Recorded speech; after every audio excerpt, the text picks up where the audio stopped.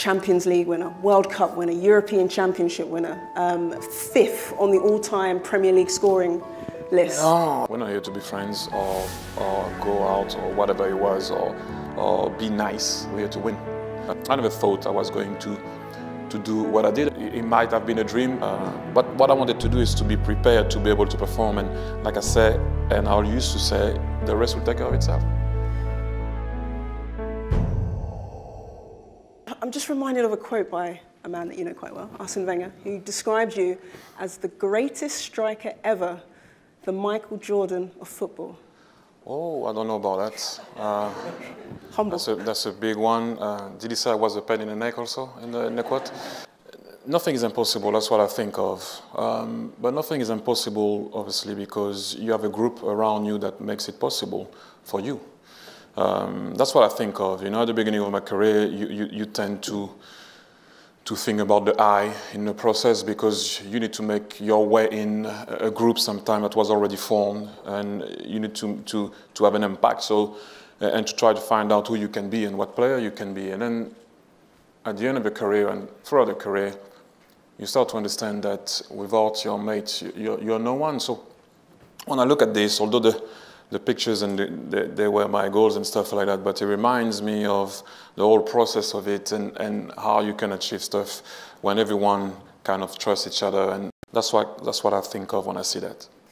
It's interesting. I've seen interviews with you before where you've said if a player scores a goal for their team, but the team doesn't go on to win, those goals should be discounted. Yeah. That's incredible. So point. it's nothing about no, listen, personal success. Well, it's, it's something that you can share when you're done. I, I kind of uh, uh, bother my kids with that now, with, uh, with the goals that I used to score and stuff like that. But I think for me, one of the most important things is, did it matter in the game? Did it matter in the game? Sorry, that's, that's, that's what you, you're there for. You're there to score goals and win the game. I wasn't interested at the end of the game of uh, if we lost a game and, and I was going to say, at least, you know, I scored two. No, no, score two. They need to mean something in the game, and if it didn't mean anything, then even when, in all fairness, uh, I did score goals and, and we won, I wasn't always happy, uh, or shall I say, satisfied. And you score two, you lost four two. What's the what's the big deal out of that? Incredible. Just might sound harsh, sorry, but uh, keep you on your toes. You're clearly a perfectionist, then.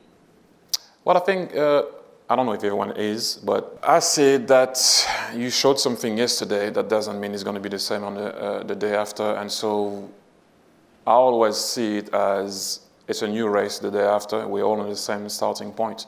Let's see who's going to win that race again today. Um, so I don't live in the past. Uh, although you need, the, you need the past to be present in the future, that's what I always say, but you know, the present is actually the moment that we're living right now, so I was trying to live uh, at that uh, particular moment. And the only time you can go back and start to think about your, what you've done is when it's done. Now I can. That's what I said to you. I bother my kids with it. Thierry, who are some of the, the greatest players you played with? Oof. Dennis Bergkamp has to be one, doesn't he?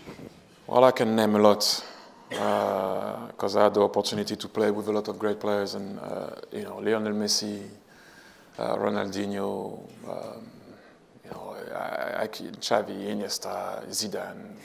But I played with some guys that I will not even qualify as human in terms of uh, we're talking football. Obviously, with all due respect, we're talking football because Lionel Messi is not human for me. What he does is not, it's not normal really not normal. You, you, I don't know if you guys are realizing what the guy is doing, but this is not normal what he's doing. And guys, but when we go back to the normal people, human beings, Dennis Bergkamp is the best player that I played with. Why? Because of um, guys. What, what you didn't see is, is is commitment every day in training and his desire. When he was a great Dennis Bergkamp, he could have take it easy sometime in training, and nothing was easy with Dennis. Champions League winner, World Cup winner, European Championship winner, um, fifth on the all-time Premier League scoring list. No, uh, did, did you dream big? I always say to myself, the rest will take care of itself.